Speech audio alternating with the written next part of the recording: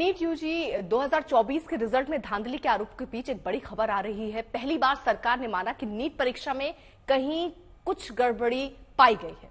केंद्रीय शिक्षा मंत्री धर्मेंद्र प्रधान ने कहा कि कुछ जगह गड़बड़ी पाई गई है, इतना ही नहीं, धर्मेंद्र प्रधान ने कहा कि नीट मामले में किसी भी तरह की गड़बड़ी वाले जो भी शख्स होगा, उसे छोड़ा नहीं जाएगा। बच्चों के भविष्य के साथ कोई खिलवाड़ बर्दाश्त नहीं किया जाएगा। शिक्षा मंत्री ने एनटीए पर भी नाराज़गी व्यक्त करते हुए कहा कि एनटीए में भी अगर कोई दोषी होगा तो उसे भी नहीं छोड़ेंगे। नीट एग्जामिनेशन में कुछ विसंगतियाँ कुछ जगह की स्पेसिफिक जगह की ध्यान में आई है। सरकार उसकी सुधार के काम पे लगी है। जहाँ जहाँ इस प्रकार की गड़बड़ियों की सूचना, पुख्ता जानकारी के साथ तभी मिल रहा है, उस पर स्पेसिफिक कार्रवाई भी कोर्ट की संज्ञान में रखते हुए सुप्रीम कोर्ट ने सारा विषय को एक नज़र रखी है। कोर्ट की निगरानी में सारा विषय को किया जा रहा है। नीट जैसे महत्वपूर्ण परीक्षा शत प्रतिशत पारदर्शी हो, ये हम उसके लिए कमिटेड है। सरकार उसके लिए प्रतिबद्ध है।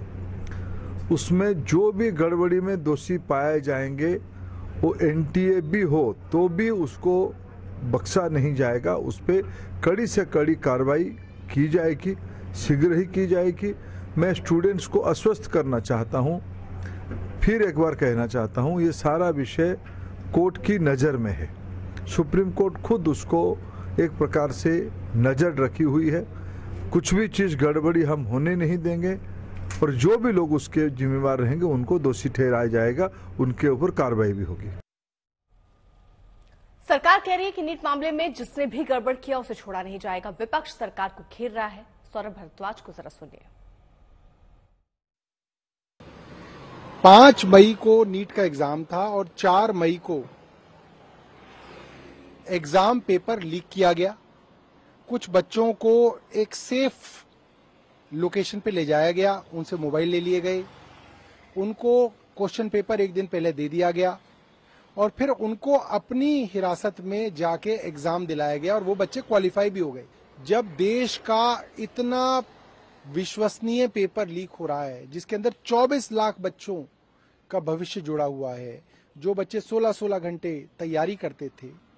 केंद्र सरकार उस पर बिल्कुल चुप है। वही देखिए कर्नाटक के चिकित्सा शिक्षा मंत्री भी इसे बड़ा घोटाला बता रहे हैं और सरकार पर ही निशाना साध रहे the students are doubting the